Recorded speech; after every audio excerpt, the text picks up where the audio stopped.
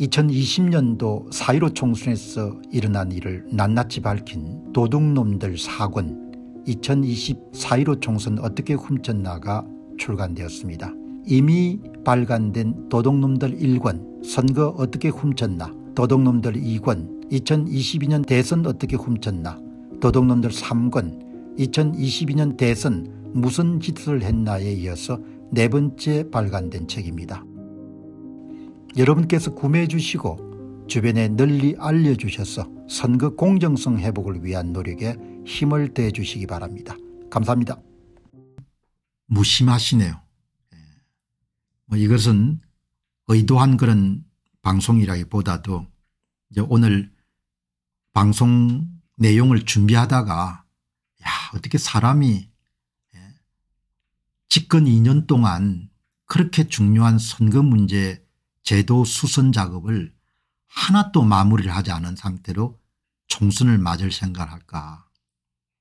본인이 임명권을 갖고 있는 자리에 예, 도저히 맞지 않는 판사를 여러분들 집어넣어 가지고 김용빈 선거관리위원회 사무총장 하에서 예, 선거가 지금 두 달이 채 여러분들 남지 않은 시점에 가장 기본적인 그런 소위 선거 사기를 막을 수 있는 그런 제도적인 그런 수선 작업도 완결되지 못한 채 무슨 일을 하면서 2년을 보냈냐 당신이 대통령이 맞냐 이런 생각이 드는 겁니다. 예. 그래서 참 기가 차는 거죠.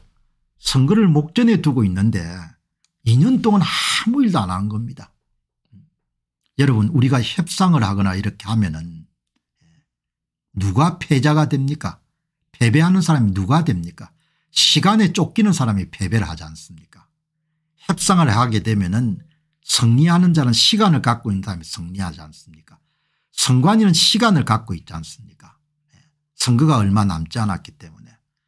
국민의힘에서 이름 요구하는 투표관리관 개인도장 날인 폐기나 같은 경우는 예, 그런 시간에 쫓기는 일이지 않습니까? 예, 선거를 목전에 두고 있는데 그동안 뭘 했냐 이야기예요. 예, 여기가 화재 사건이 났을 때 서천인가 화재 사건이 났을 때 윤 대통령이 현장 방문했던 안녕하십니까 공병호입니다. 그동안 공병호 tv는 선거 공정성 회복과 자유민주주의 체제의 보존과 발전을 위해 노력해왔습니다. 이런 노력들이 지속될 수 있도록 공병호TV의 전기 후원 프로그램이자 멤버십 프로그램을 소개해드립니다. 뜻 있는 분들의 관심과 동참을 부탁드립니다. 선거 공정성 회복을 위한 노력을 지지하시고 훌륭한 나라 만들기에 동참하시는 시청자분들이시라면 구독 버튼 바로 옆에 있는 가입 버튼을 통해서 정기 후원 프로그램에 가입할 수 있습니다. 가입 버튼을 누르시면 공병호TV의 후원자가 되시게 됩니다. 여러분의 후원이 선거 공정성 회복을 위한 노력에 힘을 더할 수 있을 뿐만 아니라 자유민주주의 체제의 수호를 그리고 발전을 통해 여러분과 후손들의 삶에 빛과 소금이 될 것입니다.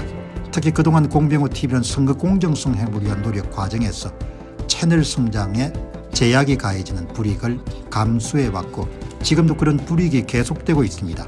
그럼에도 불구하고 너무나 중대한 문제이기 때문에 공병호 TV의 노력은 계속될 것입니다.